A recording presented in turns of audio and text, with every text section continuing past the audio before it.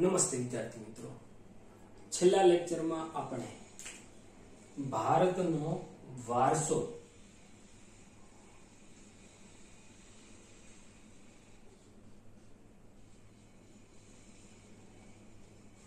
આ પાઠમાં આપણે પ્રાકૃતિક વારસો, જે આપણને કુદરત દ્વારા મળેલી એક ભેટ છે, અને સાંસ્કૃતિક વારસો. જે માનવ સર્જિત વારસો છે, જેમાં માનવે પોતાની કલા, શક્તિ, બુદ્ધિ, આવડત અને કૌશલ્ય દ્વારા જે કાંઈ સર્જન કર્યું છે, તેને આપણે સાંસ્કૃતિક વારસા તરીકે ઓળખીએ છીએ. તો છેલ્લા લેક્ચરમાં આપણે આ પ્રાકૃતિક વારસો અને સાંસ્કૃતિક વારસા વિશે અભ્યાસ કર્યો.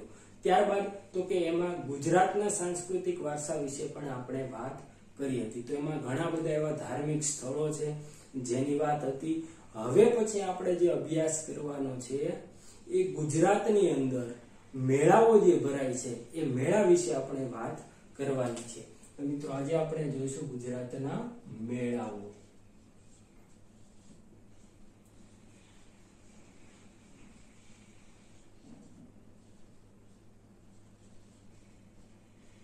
ગુજરાતના મેળાઓ.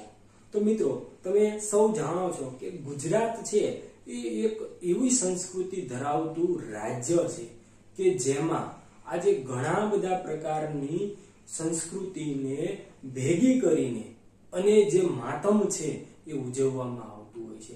મિત્રો, ગુજરાતની અંદર ઘણા બધા એવા ધાર્મિક સ્થળો છે કે જે અનેક સંસ્કૃતિ સાથે સંકળાયેલા છે. મિત્રો, આજે આપણે એવા સ્થળોની, એવા મેળાઓની વાત કરવાની છે કે જે ગુજરાતની અંદર ઘણું બધું મહત્વ ધરાવે છે. ગુજરાતની ભાતીગળ સંસ્કૃતિમાં વિવિધ સ્થળોએ પરંપરાગત રીતે ધાર્મિક, સામાજિક મહત્વ ધરાવતા મેળાઓ યોજાય છે. મિત્રો, તમે જોવો છો કે તમારી આજુબાજુમાં પણ ઘણી બધી જગ્યાએ મેળાઓ ભરાતા હોય છે. આ કોઈ ને કોઈ ધાર્મિક એ સ્થળ સાથે અથવા મંદિર સાથે સંબંધ ધરાવતા હોય છે. જે પૈકી મુખ્ય મેળાઓની વિગત આપણે નીચે પ્રમાણે જોઈશું.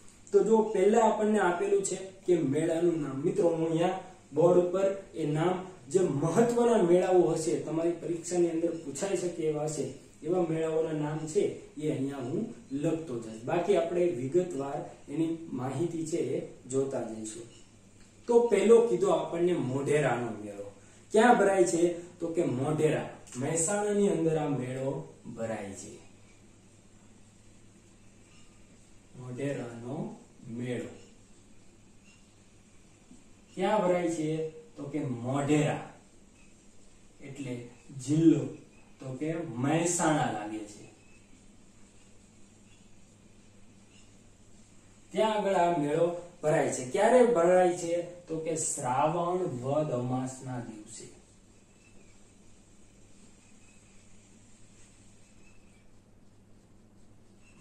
અમાસના દિવસે આ મેળો ભરાતો હોય છે મિત્રો. ત્યાર પછી જોઈએ તો કે બહુચુરા, બહુચુરાજીનો મેળો, જે બહુચુરાજી પાટણની અંદર આવેલો છે, આ મેળો ક્યારે ભરાય છે? તો કે ચૈતર સુદ પૂનમના દિવસે આ મેળો ભરાય છે. ત્યાર પછી જોઈએ તો કે શામળાજીનો કાળિયા ઠાકોરનો મેળો. આ મેળો શામળાજીની અંદર ભરાય છે, જે અરવલ્લી જિલ્લાની અંદર આવેલું છે. ત્યારબાદ જોઈએ તો કે ભાદરવી પૂનમનો મેળો. જો મિત્રો આ જે આઈએમપી જેવા પ્રશ્નો હશે એ હું અહીંયા લખતો જઈશ. ભાદરવી પૂનમનો મેળો. તો આ પ્રશ્ન તમારે પૂછાઈ શકે એવો છે કે ભાદરવી પૂનમ છે એનો મેળો ક્યાં ભરાય છે? તો કે અંબાજીની અંદર, બનાસકાંઠામાં.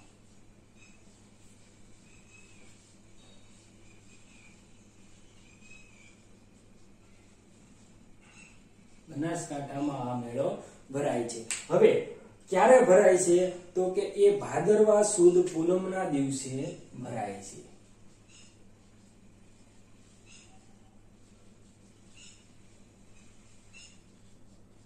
ભાદરવા સુદ પૂનમ જો મિત્રો અને યાદ રાખવાની ઘણી બધી સ્ટીક પણ હોય છે. તો કે ભાદરવી પૂનમનો મેળો. એટલે તમારે ક્યાં ભરાય તો કે અંબાજી બનાસકાંઠાની અંદર. એટલે ભાદરવી હોય તો એ ભાદરવા જો માસ છે એની અંદર જે મેળો ભરાતો હોય, એટલે ક્યારે તો કે ભાદરવા મહિનાની અંદર સુદ પૂનમના દિવસે. એટલે આપણે આ નામ તો યાદ રહી ગયું કે ભાદરવી પૂનમનો મેળો ક્યારે ભરાય? તો કે ભાદરવા મહિનાની અંદર સુદ પૂનમના દિવસે આ મેળો ભરાતો હોય છે. ત્યારબાદ જોઈએ તો કે ભવનાથનો મેળો. જો મિત્રો આ પણ ઘણો આઈએમપી પ્રશ્ન છે કે ભવનાથનો મેળો એ ક્યાં ભરાય છે? તો કે ગિરનાર. એટલે કે જુનાગઢમાં. જુનાગઢમાં આ મેળો ભરાય છે. ક્યારે ભરાય છે? તો કે મહાવદ નવથી બાર.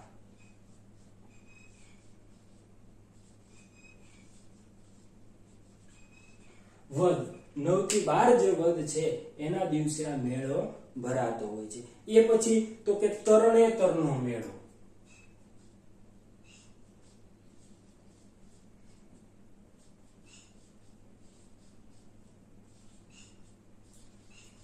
તરણેતરનો મેળો. ક્યાં ભરાય છે તરણેતરનો મેળો? તો કે સુરેન્દ્રનગર. પણ સ્થળ કયું? તો કે તરણેતર જ તે અને જિલ્લો તો કે સુરેન્દ્રનગર. તરણેતરનો મેળો કયા સ્થળે ભરાય છે? તો કે તરણેતર સ્થળે કયા જિલ્લામાં આવેલું છે? તો કે સુરેન્દ્રનગર જિલ્લાની અંદર આવેલું છે અને ક્યારે ભરાય છે? તો કે ભાદરવા સુદ ચારથી છ.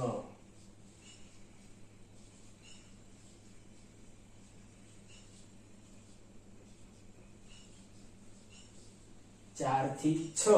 સમયગાળાની અંદર આ મેળો ભરાતો હોય છે. પછી ભડિયાદનો મેળો તો ભડિયાદ અમદાવાદની અંદર આવેલો છે, જે રજબ માસની તારીખ નવ, દસ અને અગિયાર ના દિવસે ભરાતો હોય છે. ત્યારબાદ તો કે નકળંગનો મેળો ભાવનગરની અંદર ભરાય છે. જો મિત્રો આપણા ભાવનગરની વાત આવી કે નકળંગની અંદર મેળો ભરાય છે અને એ ભાદરવી વદ અમાસના દિવસે આ મેળો ભરાતો હોય છે. એ પછી માધવપુરનો મેળો જો, વોઠાનો મેળો જો, મિત્રો, જો આ વોઠાનો મેળો છે એ પણ પૂછાઈ શકે એવો પ્રશ્ન છે.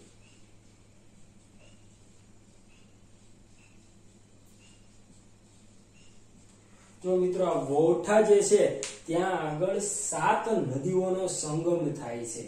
બરાબર? એટલે ત્યાં આગળ આ મેળો ભરાતો હોય છે. ક્યારે ભરાય છે? તો કે આ ક્યાં આવેલું છે? તો કે ધોળકા અમદાવાદમાં.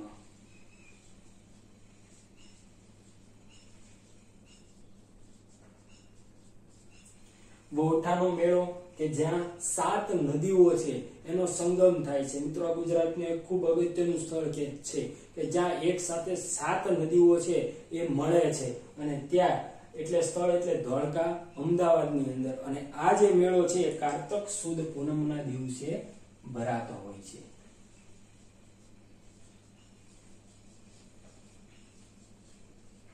કારતક સુદ પૂનમના દિવસે આ મેળો ભરાય છે. ત્યાર બધી, ત્યારબાદ જોઈએ તો કે મીર દાતારનો મેળો છે, જે ઉનાવા ઊંઝાની અંદર આવેલો છે, ડાંગ દરબારનો મેળો છે, જે આહવા ડાંગની અંદર આવેલો છે. ત્યારબાદ જોઈએ તો ગોળ ગધેડાનો મેળો. જો મિત્રો, ગોળ ગધેડાનો, જે ગરબાડા દાહોદની અંદર આદિવાસી લોકો છે, એ જ્યાં વસવાટ કરતા હોય, ત્યાં આગળ આ મેળો ભરાય છે. પછી કાર્તિકી પૂર્ણિમાનો મેળો, જે સોમનાથ ગીરની અંદર જોવા મળે છે. અને ભાંગુરિયાનો મેળો, જે છોટા ઉદેપુર અને કવાટની અંદર આ મેળો ભરાતો હોય છે. મિત્રો, જો એના તમને તિથિ અને મેળાનો સમયગાળો પણ આપેલો છે. પણ મિત્રો એટલા જે પ્રશ્નો છે એ આઈએમપી છે, કે જેમાંથી વારંવાર પરીક્ષાઓની અંદર એક એક માર્કની અંદર પ્રશ્ન પૂછાતો હોય છે કે મોઢેરાનો મેળો ક્યાં ભરાય છે? તો કે મોઢેરાનો મેળો મોઢેરા સ્થળે મહેસાણાની અંદર ભરાય છે. ઘણી વખત એવું પણ પૂછે કે મોઢેરાનો મેળો કઈ તિથિ અથવા કયા દિવસે ભરાતો હોય છે તો કે શ્રાવણ વદ અમાસના દિવસે. એટલે દરેક પ્રશ્નો એ રીતે આઈએમપી છે. તો આ હતી આપણા મેળાની વાત. હવે પછી આપણે જે વાત જોવાની છે, એ ભારતના ભૂમિની અંદર જે લોકો વસવાટ કરતા, એના વિશેની વાત આપણે જોવાની છે.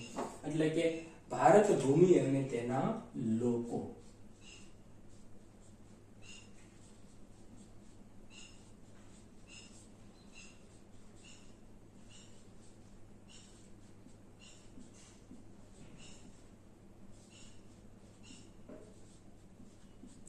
ભારત ભૂમિ અને તેના લોકો મિત્રો આપણે સૌ જાણીએ છીએ કે ભારતની અંદર આદિ માનવથી શરૂઆત આપણી થઈ હતી. હું અને તમે સૌ આપણે એક આદિ માનવ હતા. તમને કીધું ને અગાઉ કે આપણું જે સર્જન થયું છે એ એક વાંદરામાંથી સર્જન થયેલું છે. આપણા જે પૂર્વજો છે એ વાંદરા જેવા દેખાતા હતા, જે પાછળ પૂછડી હતી. પરંતુ ધીરે ધીરે જેમ સંપર્કમાં આવતા ગયા જંગલોમાંથી બહાર નીકળતા ગયા, ધીરે ધીરે એનો વિકાસ થતો ગયો.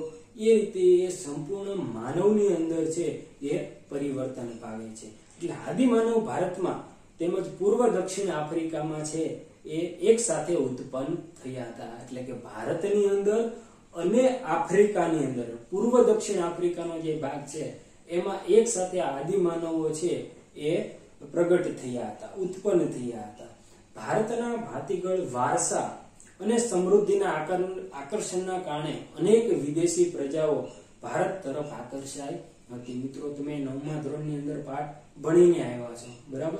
કે ભારતની અંદર યુરોપીય પ્રજાનું આગમન. તો આ તો યુરોપિયન પ્રજાની વાત હતી. એ સિવાય પણ પ્રાચીન સમયમાં અનેક પ્રજાઓ ભારતની અંદર આવી છે. શા માટે આવી?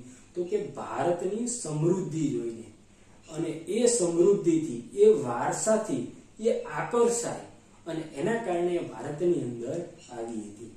આવી અનેક જાતિઓ આવી. પરિણામે ભારતમાં લગભગ બધી જ જાતિના તત્વો આજે આપણને જોવા મળે છે. દરેક જાતિના લોકો, દરેક જાતિના લક્ષણો, દરેક જાતિની સંસ્કૃતિ, દરેક જાતિની ભાષા, એની વિવિધતા, દરેક બાબતો આજે આપણને ભારતમાં જોવા મળે છે.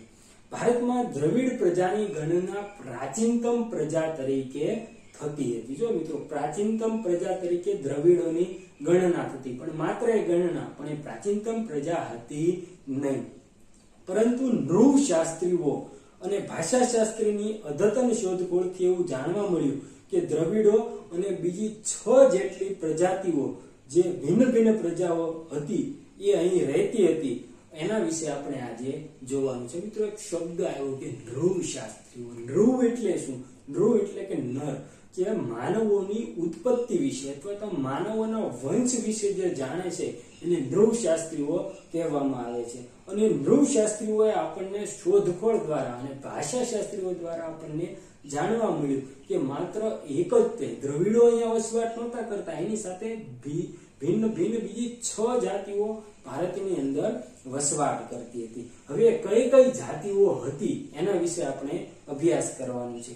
તો પ્રથમ જાતિ એટલે કે આપણે નેગ્રીટો વિશે અભ્યાસ કરવાનો છે.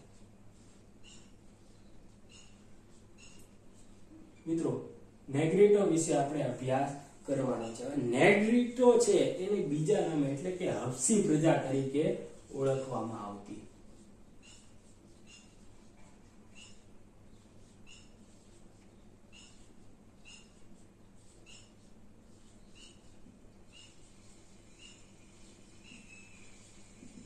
મિત્રો આ તમને એક માર્કના પ્રશ્નમાં પૂછાઈ શકે કે નેગ્રીટો છે, એને બીજા કયા નામે ઓળખવામાં આવતી તો કે હપસી પ્રજા? અથવા હપસી પ્રજા તરીકે કોને ઓળખવામાં આવતી તો કે નેગ્રીટોને ઓળખવામાં આવતા? નેગ્રીટો અથવા નિગ્રો જાતિ હપસીઓ ભારતના સૌથી પ્રાચીન નિવાસીઓ છે. જો મિત્રો, પ્રાચીન નિવાસીઓ. પ્રાચીન નિવાસીઓ છે. એટલે મિત્રો, આ પણ એક માર્કનો પ્રશ્ન થયો કે સૌથી પ્રાચીન પ્રજા ભારતની કઈ? તો શું આવશે? તો કે નેગ્રીટો, એટલે કે હપસીઓ છે ભારતના સૌથી પ્રાચીન પ્રજા હતા. દ્રવિડો નહીં. દ્રવિડો પ્રાચીન પ્રજા હતી એવું આપણે માનતા હતા, પણ નૃશાસ્ત્રીઓ અને ભાષાશાસ્ત્રીઓની શોધખોળથી આપણને જાણવા મળ્યું કે નેગ્રીટો છે, હપસીઓ છે સૌથી પ્રાચીન પ્રજા ભારતની છે. નેગ્રીટો અથવા નિગ્રો હપ્સીઓ આફ્રિકામાંથી બલુચિસ્તાન રસ્તે થઈને આવ્યા હતા. હવે જો મિત્રો આ પ્રશ્ન તમને પૂછાઈ શકે કે નેગ્રીટો હપ્સીઓ છે, ભારતમાં ક્યાંથી આવ્યા હતા? તો કે આફ્રિકાના બલુચિસ્તાન રસ્તે થઈને.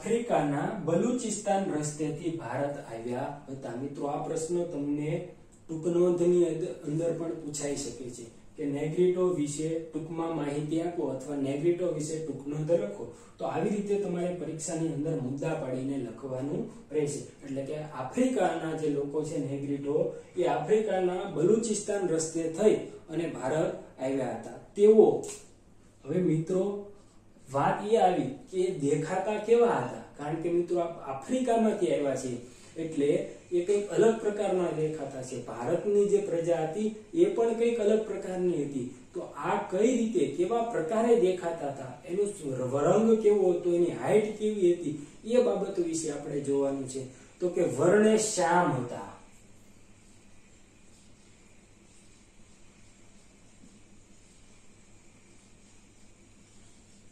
વર્ણે એટલે કે કાળા છે, શ્યામ, એટલે કે કાળા રંગના એ લોકો હતા. એની હાઈટ કેટલી હતી? તો કે ચારથી પાંચ ફૂટ.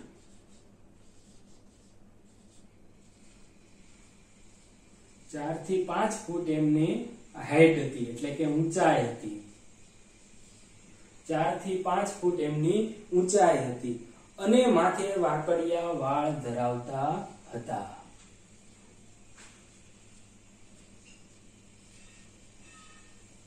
જો મિત્રો આ એમના રંગરૂપ વિશે વાત કરી, મિત્રો વાકડિયા વાળ એટલે કે મારા જેવા વાળ મિત્રો વાકડિયા વાળ છે, એવા વાળ ધરાવતા ઝીણા ઝીણા હોય ને ઘણા બધા વાંક ખાઈ ગયેલા હોય. તો મિત્રો નેગ્રીટો છે, એ હફસી પ્રજા તરીકે ઓળખાય છે. ક્યાંથી આવ્યો? એને સૌથી ભારતની પ્રાચીન પ્રજા તરીકે એને ઓળખવામાં આવે છે. આફ્રિકાના બલુચિસ્તાન રસ્તેથી ભારતમાં આવ્યા હતા અને એ વર્ણે શામ એટલે કે કાળા હતા. એની હાઈટ તો કે ચારથી પાંચ ફૂટ એમની હાઈટ હતી અને એ વાંકડિયા વાળ ધરાવતા હતા. તો મિત્રો, આ હતી ભારતના નેગ્રીટો પ્રજાની વાત. હવે આપણે જોવાની છે એ બીજી એક પ્રજાની વાત જોવાની છે, જેનું નામ છે ઓસ્ટ્રેલોઇડ.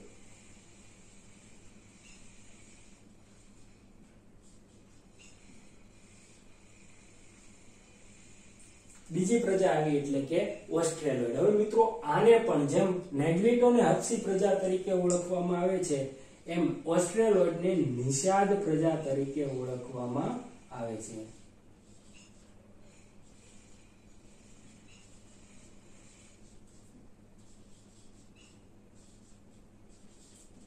જો મિત્રો, આના પરથી બીજા તમારે પ્રશ્નો નીકળી શકે છે. હજી આના પછી ઘણી બધી પ્રજાતિઓ વિશે આપણે ભણવાનું છે. તો દરેક પ્રજાતિ છે, એના તમને જે નામ છે નેગ્રીટો ઓસ્ટ્રેલોઇડ એ આપેલા હોય અને સામે બીજા નામ આપ્યા હોય કે હક્સી અને નિષાદ પ્રજા. તો કઈ પ્રજા કયા નામે ઓળખાતી હતી, એ તમારે જોડકાની અંદર પણ આ પ્રશ્નો પૂછાઈ શકે છે. એટલે આવા પ્રશ્નો ઉપર ખાસ ધ્યાન આપજો. ઓસ્ટ્રેલોઇડ પ્રજા છે, એ અગ્નિ એશિયામાંથી આવેલી હતી. ક્યાંથી આવી હતી મિત્રો? તો કે અગ્નિ એશિયામાંથી.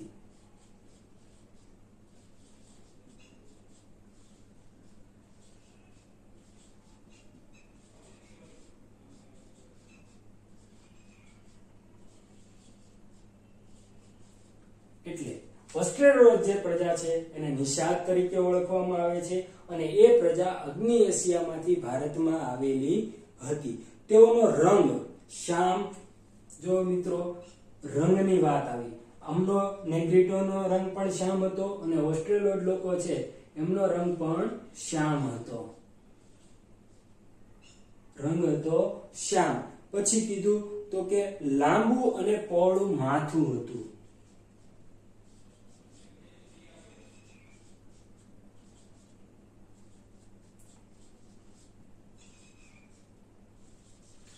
તો મિત્રો આ બધા એના લક્ષણો છે. એના લક્ષણો યાદ રાખજો. પરીક્ષાની અંદર પૂછાતા હોય છે. ઓસ્ટ્રેલોઇડ શ્યામ હતા એટલે કે કાળા રંગના હતા. એનું માથું છે લાંબુ અને પહોળું હતું.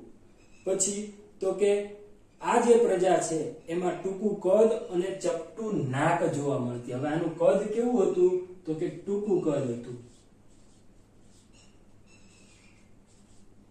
અને ચપટું નાક હતું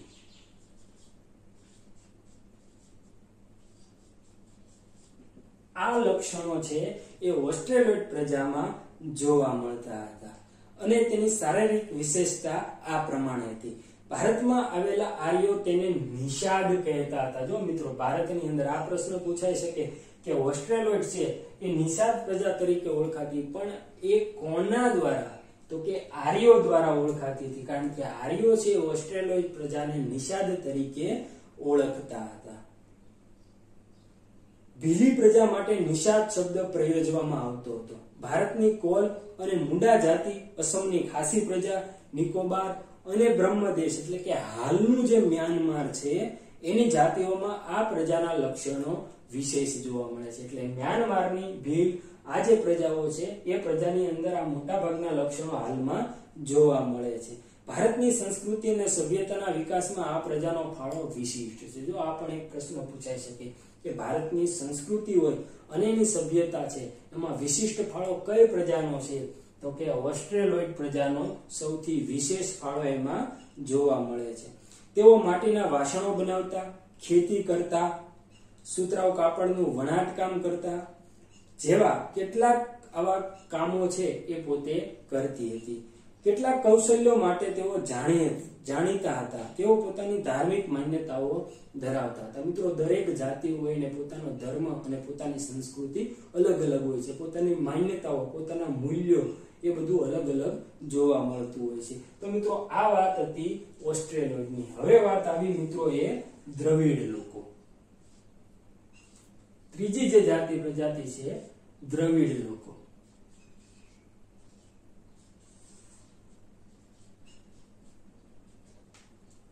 હવે મિત્રો આપણે દ્રવિડ વિશે જોવાનું છે. તો કે દ્રવિડ મૂળ ભારતના હતા. ક્યાંના હતા? તો કે જે મૂળ વતન એમનું છે એ ભારત. એટલે દ્રવિડો જે છે એ મૂળ ભારતના હતા.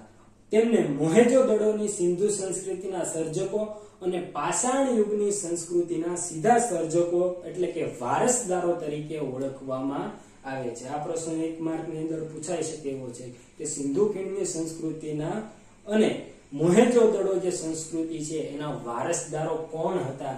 તો કે દ્રવિડ લોકો હતા. મિત્રો, સિંધુ ખીણની સંસ્કૃતિ એટલે આપણે વારંવાર એને યાદ કરીએ છીએ કે સિંધુ નદી ખીણ સિંધુ જે નદી છે, એની કિનારે જે પાંગરેલી સંસ્કૃતિ છે એને સિંધુ ખીણની સંસ્કૃતિ તરીકે ઓળખવામાં આવે છે અને ત્યાં બે મહત્વના મોટા નગરો, મોહેજો દડો અને હડપ્પા બે નગરો આપણને મળી આવ્યા હતા. તો આને દ્રવિડ લોકોને સિંધુ સંસ્કૃતિના અને મોહેજો દડો સંસ્કૃતિ છે એના સીધા વારસદારો તરીકે ઓળખવામાં આવે છે. ઉત્તરમાંથી આવેલી વિવિધ પ્રજાની ભાષા અને સાંસ્કૃતિક લક્ષણો ટકી રહ્યા છે. સમયાંતરે આ લોકો દ્રવિડો મિત્રો, દ્રવિડો માતા રૂપે, એટલે કે માતા સ્વરૂપે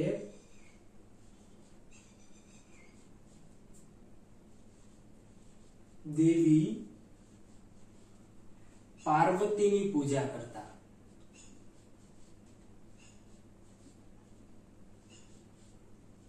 અને પિતા સ્વરૂપે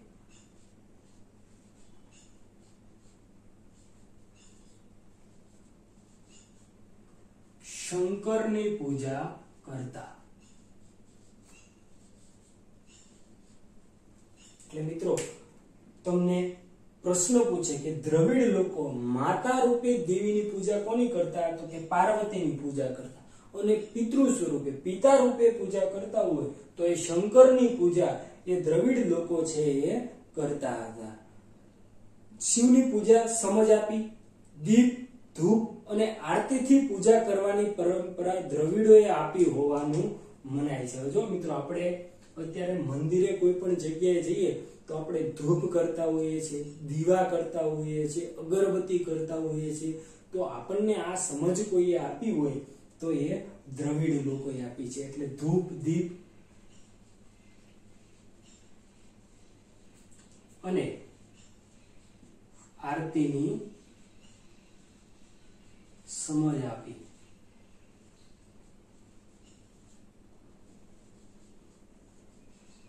મિત્રો, આપણને આરતી કરવાની ધૂપ દીપ કરવાની, જો કોઈ આપણને સમજાવ્યું હોય, તો એ દ્રવિડ લોકોએ આપણને સમજાવ્યું છે. અને આ એની પરંપરા છે. એ વર્ષોથી ચાલી આવતી હોય એવું માનવામાં આવે છે. આ ઉપરાંત પ્રકૃતિ પૂજા, પશુ પૂજા વગેરે દ્રવિડોની ભેટ છે. તો મિત્રો, આજે આપણે અગાઉ પણ ભણી ગયા કે પ્રકૃતિની વૃક્ષોની પણ પૂજા કરતી હોય છે. પીપળો હોય, વડ હોય, તુલસી હોય, એની પૂજા કરીએ છીએ. તો આની પે આપણને જો કોઈ પરંપરા આપી હોય, તો એ દ્રવિડોએ આપી. આ બંને પ્રશ્નો પૂછાઈ શકે એવા છે કે ધૂપ દીપ આરતી કરવાની પરંપરા આપણને કોણે આપી? તો કે દ્રવિડ લોકોએ આપી, એની સમજ એને આપી. એ સિવાય તો કે પ્રકૃતિની પૂજા કરવાની હોય, પશુઓની પૂજા કરવાની મિત્રો, આપણે ગાયની પૂજા કરતા હોઈએ છીએ. જ્યારે આપણે વાવણી કરતા હોઈએ, ત્યારે આપણે બળદની પણ પૂજા કરીએ છીએ.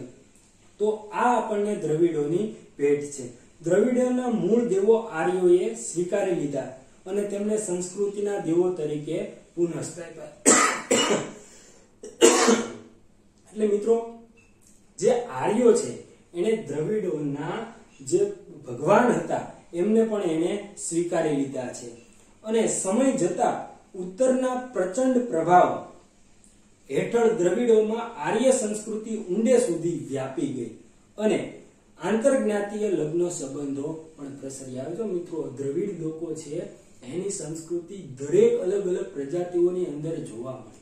અને એ લોકોએ હવે આંતરજ્ઞાતિઓએ લગ્ન કરવાના શરૂઆત કરી દીધી. એટલે કે પોતાની જે આંતરજ્ઞાતિઓ છે દ્રવિડ હોય આર્યો એને અંદરો અંદર લગ્નની જે લગ્ન છે, એ આંતરજ્ઞાતીય લગ્નની શરૂઆત કરી. દ્રવિડોમાં માતૃ મૂળ કુટુંબ પ્રથા જોવા મળે છે. જો મિત્રો યાદ રાખજો. માતૃ મુલુક કુટુંબ પ્રથા.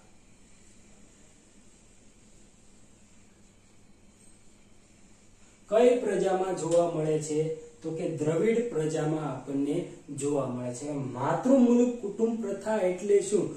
તો કે વંશ ગણતરી માતાના આધારે થતી હોય છે. મિત્રો જે વંશની, એના વંશજોની જે ગણતરી થતી હોય છે, કોના આધારે થાય?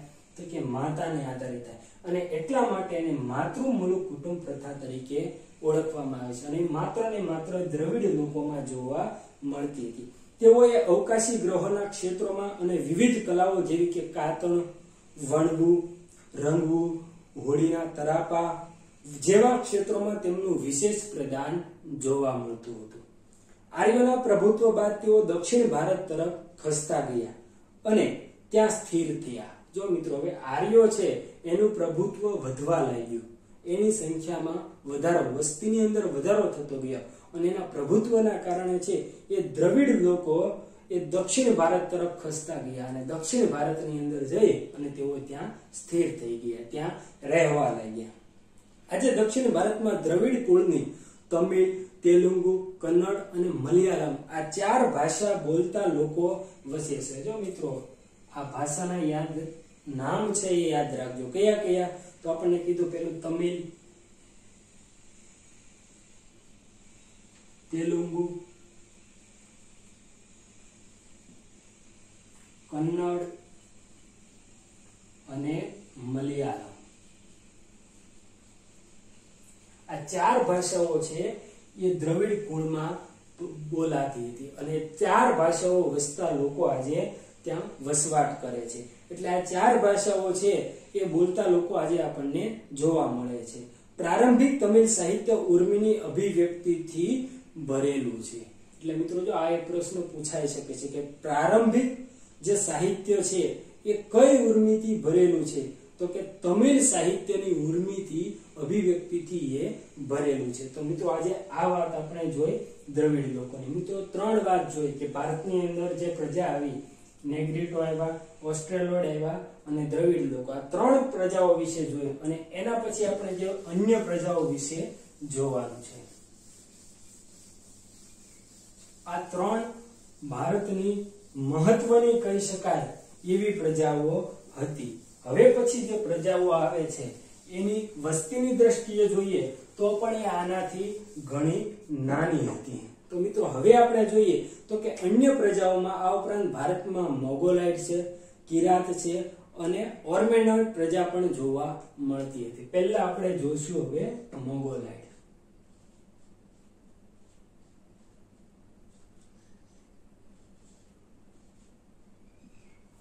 મોગોલાઇટ પ્રજા. તો કે આ પ્રજા એ ઉત્તર પશ્ચિમ ચીનમાંથી તિબેટમાં થઈ ભારતમાં આવી હતી. ક્યાંથી આવી હતી? તો કે ઉત્તર પશ્ચિમ ચીનમાં. તિબેટમાં આવી હતી.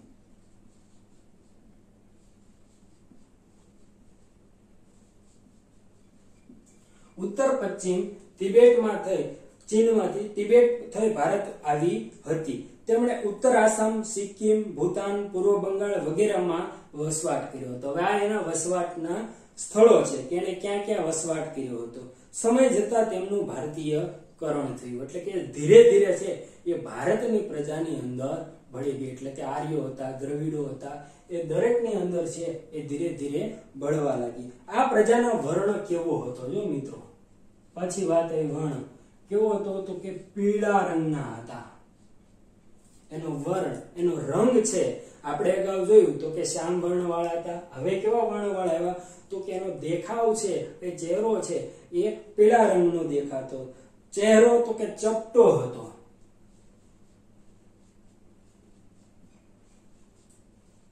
ચહેરો ચપટો હતો. અને એના ગાલ જે છે, એ હુપસેલા હતા.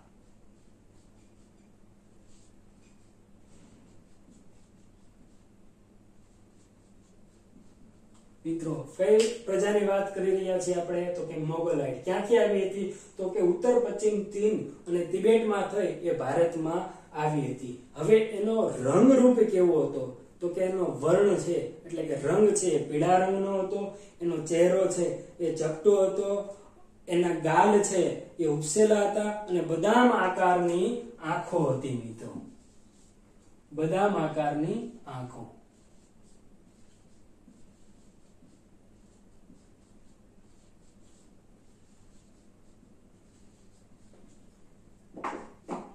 લક્ષણો છે એ આપણને મોગલાઇટ જાતિની અંદર જોવા મળતા હતા. આ એના શારીરિક લક્ષણો ધરાવતા હતા. હવે પછી આપણે એમાં જોઈએ તો કે મોગલાઇટ લોકો પીળા વર્ણના હોવાથી તે કિરાત તરીકે ઓળખાતા હતા. જો મિત્રો, પીળા રંગના હતા એટલે એને કિરાત તરીકે ઓળખવામાં આવતા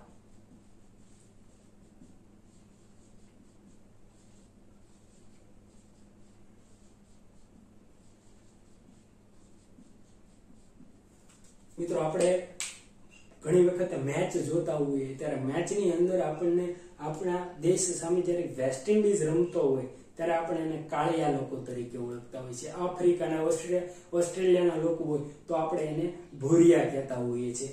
એવી રીતે આ મોગોલાઇડ લોકો છે, એ પીળા રંગના હતા, એટલે એને કિરાત તરીકે ઓળખવામાં આવતા હતા.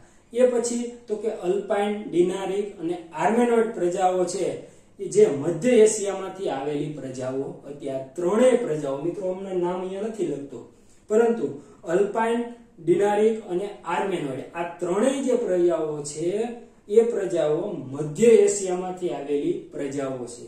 અને આ ત્રણ જાતિઓ એક સમાન ભૌતિક ગુણો ધરાવે છે. દરેકના એક સરખા ગુણો છે. ભૌતિક ગુણ એની હાઈટ જુઓ, બરાબર? એમનો ચહેરો જુઓ, એનો વર્ણ જુઓ, તો એ દરેક એક સરખું જોવા મળે છે. અને આ પ્રજાના અંશો ખાસ કરીને મહારાષ્ટ્ર, બંગાળ, ઓડિશા, ગુજરાત અને સૌરાષ્ટ્રના કેટલાક પ્રમાણમાં, કેટલાક ભાગોમાં જોવા મળતા છે. એટલે એના વંશજો છે એ આપણને આ વિસ્તારની અંદર જોવા મળે છે. ત્યારબાદ આપણે વાત જોઈએ તો કે આર્યોની વાત.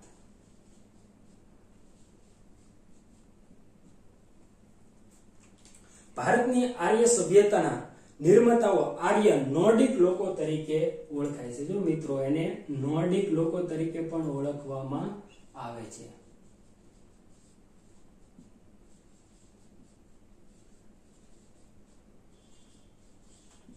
કઈ પ્રજાને નોર્ડિક તરીકે ઓળખવામાં આવે છે? તો કે આર્યોને નોર્ડિક તરીકે ઓળખવામાં આવે છે. અને એ ભારતની આર્ય સભ્યતાના નિર્માતા તરીકે ઓળખાય છે. એટલે આ ભારતની આર્ય સભ્યતાના નિર્માતા કોણ હતા? તો કે નોર્ડિક લોકો, એટલે કે આર્યો છે એ હતા.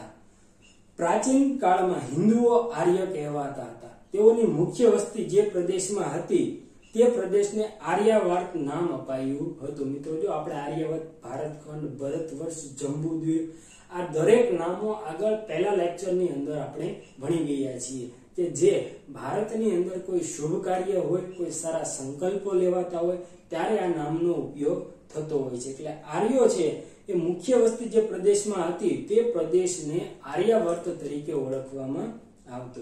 પ્રાચીન સમયમાં પ્રથમ આર્ય વસ્તી વાવ્ય ભારતમાંથી આવી હતી. પ્રથમ વસ્તી ક્યાંથી આવી હતી? તો કે વાવ્ય ભારતમાંથી.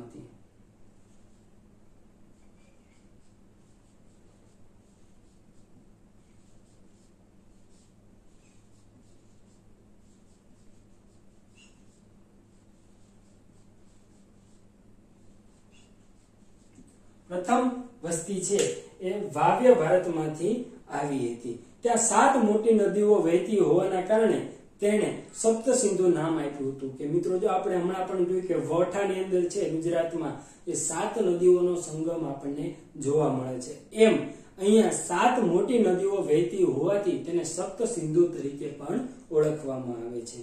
અને તેને સપ્ત સિંધુ એવું નામ આપ્યું છે.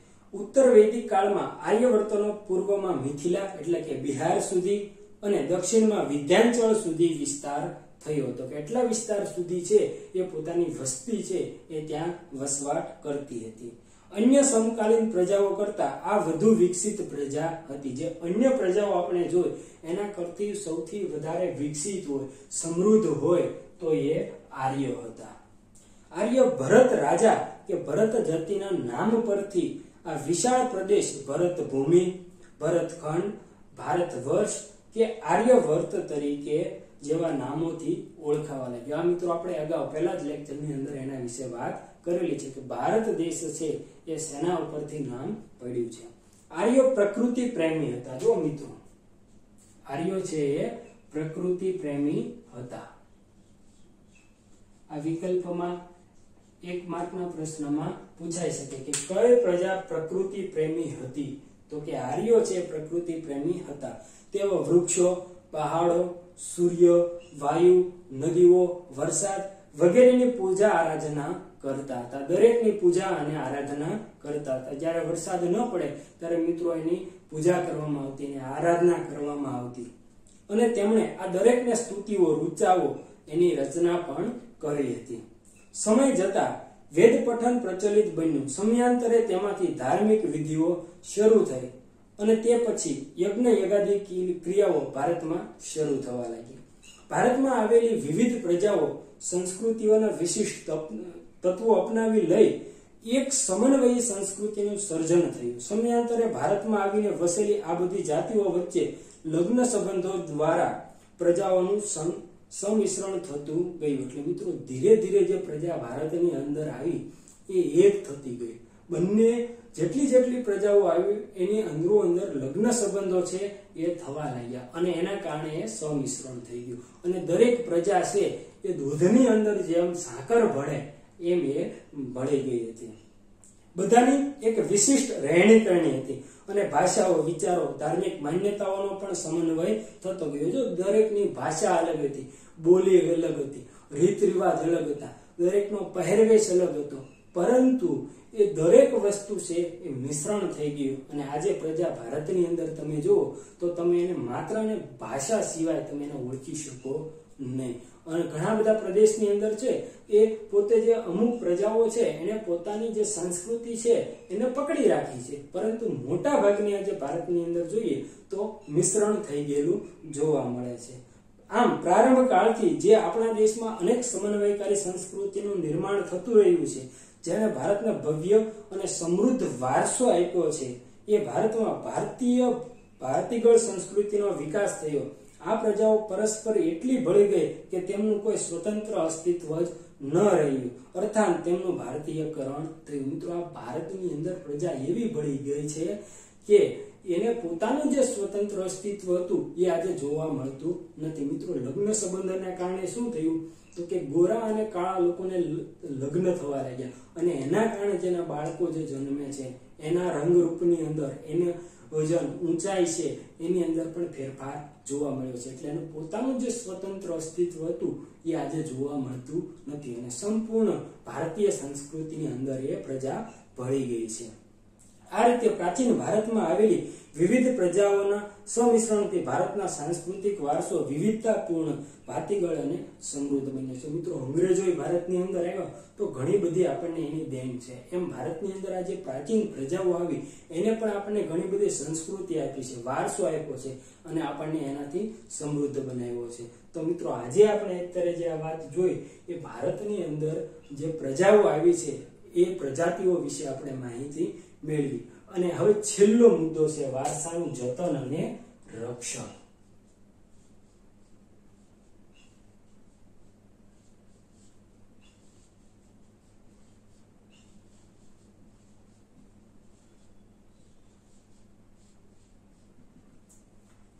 મિત્રો, દરેકને પોતાનો એક કોઈ વારસો હોય છે અને એનું જતન કરવું એ દરેક વ્યક્તિની ફરજિયાત હોય છે. મિત્રો, આપણે ભારતની અંદર જોઈએ તો કે ભારતનો જે બંધારણ છે, એ બંધારણની અંદર વારસાના જતન અને રક્ષણ અંગેની ઘણી બધી આપણને એમાં જે એના વિકલ્પો કહી શકાય અથવા તો એના માટેનું જે બંધારણ છે, અનુચ્છેદો છે, એ ઘડવામાં આવ્યા છે. અને અનુચ્છેદોની અંદર પણ ભારતના વારસાના જતન અને રક્ષણ માટે ઘણી બધી બાબતોને ઉમેરવામાં આવી છે. ભારતના વારસાની દરેક બાબતોએ ભારતને રળિયામણું, નયનરમ્ય અને આકર્ષણ છે એ બનાવ્યું છે. અને ભારતને ગૌરવ અપાવ્યું છે. આ ભવ્ય વારસાને સાચવીને વિશ્વમાં પ્રતિષ્ઠિત ગૌરવ ભર્યું અગ્રિમ સ્થાન ભારતે આજે પ્રાપ્ત કર્યું છે. તેને સાચવવું તે ભારતના પ્રત્યેક નાગરિકની પવિત્ર અને પ્રાથમિક ફરજ એટલે કે આપણી પ્રથમ ફરજ, મિત્રો, એ બને છે કે આપણે આપણા વારસાનું જતન કરવું જોઈએ અને રક્ષણ કરવું જોઈએ. આપણે આપણા પ્રાચીન ઐતિહાસિક મૂલ્ય અને મહત્વ ધરાવતા વારસાના સ્થળોને કોઈ નુકસાન ન પહોંચાડે અને તેનું જતન કરે તે માટે બંધારણમાં નાગરિકની મૂળભૂત ફરજો આપણને જણાવી છે. મિત્રો, આપણું જે બંધારણ છે એ ભારતનું સૌથી મોટું બંધારણ છે. વિશ્વનું સૌથી મોટું લેખિત બંધારણ જો કોઈ હોય તો એ ભારતનું બંધારણ છે કે જે આપણે હસ્તલિખિત છે. મિત્રો, જે આપણે લખેલું છે કે જેના વિશેના અનુચ્છેદ, કલમો, બંધારણ એ ઘડવામાં આવ્યું છે. અને એની અંદર આપણા ભારતીય બંધારણના અનુચ્છેદ એકાવન ક માં જો મિત્રો આ યાદ રાખજો કે એકાવન ક.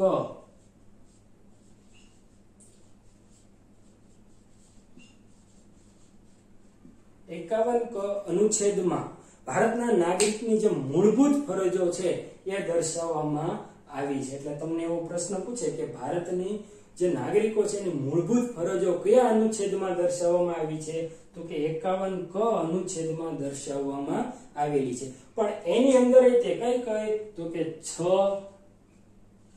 જ અને ટ. છ, જ અને ટ અર્થાંત છ, સાત અને નવ. છ, સાત અને નવ. તમે મિત્રો જ્યારે બંધારણ જોઈશો તો બંધારણના એકાવન ક અનુચ્છેદમાં છ, જ અને ટ એટલે કે ક્રમમાં જોઈએ તો કે છ, સાત અને નવ એ વારસાના જતન અને રક્ષણ માટેની નાગરિકની મૂળભૂત ફરજો દર્શાવી છે.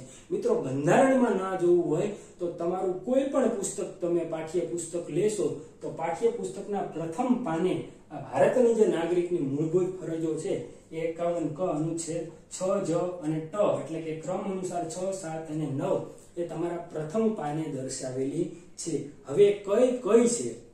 તો પહેલી, તો કે આપણી સમન્વિત સંસ્કૃતિના સમૃદ્ધ વારસાનું મૂલ્ય સમજી તેની જાળવણી કરવાની ફરજ. એટલે કે આપણો જે સમૃદ્ધ વારસો છે, એનું મૂલ્ય શું છે? એ સમજી અને એની જાળવણી કરવાની આપણી પ્રાથમિક પહેલી ફરજ બને છે. બીજી તો કે જંગલો, તળાવો, નદીઓ અને વન્ય પશુ પંખીઓ સહિત કુદરતી પર્યાવરણનું જતન કરવાની અને તેની સુધારણા કરવાની અને સર્વ જીવો પ્રત્યે અનુકંપા રાખવાની ફરજ. અનુકંપા એટલે મિત્રો કે દયા. કોઈ પણ પ્રાણી હોય કે મનુષ્ય હોય કે પશુ પક્ષી હોય, એના પ્રત્યે ક્યારેય અહિંસા, અનુકંપા નહીં કરવાની મિત્રો. એના પ્રત્યે હંમેશા દયા દાખવવાની એ આપણી બીજી ફરજ આપેલી છે. જાહેર મિલકતોનું રક્ષણ કરવાની અને હિંસાનો ત્યાગ કરવાની ફરજોનો સમાવેશ કરવામાં આવ્યો છે. મિત્રો, જાહેર મિલકત કોઈ પણ હોય, મિત્રો, આપણે ગામડાની અંદર, શહેરની અંદર જોતા હોઈએ છીએ કે જાહેર મિલકતો હોય, એને ખૂબ મોટું નુકસાન પહોંચાડવામાં આવતું. જેમ કે સરકારી હોસ્પિટલો હોય, તો જ્યારે આ હોસ્પિટલ આપણે દવાખાને જતા હોય, ત્યારે આપણે એ મિલકતને ખૂબ નુકસાન પહોંચાડતા હોઈએ છીએ. કેમ? તો કે આપણું નથી સરકારી છે. મિત્રો, પ્રાઇવેટ દવાખાનામાં જશું તો આપણે એ નહીં કરી શકીએ, કારણ કે ત્યાં એટલા એના સિક્યુરિટી વાળા હોય છે. જ્યારે આ તો આપણી જાહેર મિલકત છે મિત્રો, તો એને આપણે ક્યારેય નુકસાન પહોંચાડવું જોઈએ નહીં. શાળા છે, તો શાળા પણ એક આપણી જાહેર મિલકત છે મિત્રો, એમાં હું અને તમે સૌ ભણી શકીએ છીએ. તો એને પણ આપણે ક્યારેય નુકસાન પહોંચાડવું જોઈએ નહીં. તો જે છેલ્લી ફરજ હતી એ મિત્રો જાહેર મિલકતો છે, એને નુકસાન ન પહોંચાડવું જોઈએ. અને કોઈ પણ હિંસાનો ત્યાગ કરવો જોઈએ, એના માટેની આપણને આ ફરજ આપેલી છે. આમ પ્રકૃતિએ જે રમ્ય ભૂમિ દ્રશ્યો ભારતની ભૂમિ પર સર્જેલ છે, તેની સુંદરતા, પવિત્રતા અને શુદ્ધતાના કારણે સૌ સાથે મળીને એક નૈતિક ફરજ સમજીને જાળવવા જોઈએ. વારસાનું ઘડતર અને ક્રમિક વિકાસ ભારતને મળેલ વિશિષ્ટ પ્રાકૃતિક રચના પર આધારિત છે. પ્રકૃતિ દ્વારા ભારતને અઢળક સમૃદ્ધિ પ્રાપ્ત થઈ છે. આ પ્રાકૃતિક વિશિષ્ટતાઓએ ભારતના દરેક ક્ષેત્રોમાં વિકાસ માટેની એક નવી તક પૂરી પાડી છે. ભારતનો વારસો એ હજારો વર્ષોથી ભારતના લોકો દ્વારા આર્થિક, રાજકીય, સામાજિક અને સાંસ્કૃતિક ક્ષેત્રે કરેલ વિકાસનું પરિણામ છે તેવું કહી શકાય. મિત્રો જો કે આજે આપણે પ્રાકૃતિક વારસો અને સાંસ્કૃતિક વારસો મળ્યો છે એના દ્વારા આજે આપણે દેશને એક ઊંચી ટોચ તરફ લઈ ગયા છે.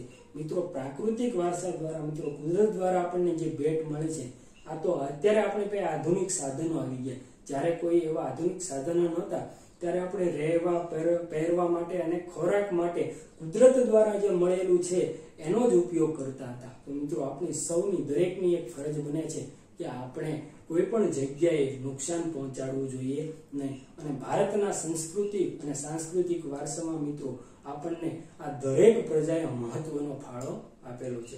મિત્રો, આજે આપણો આ પ્રથમ પાઠ છે અહીંયા પૂરો થાય છે.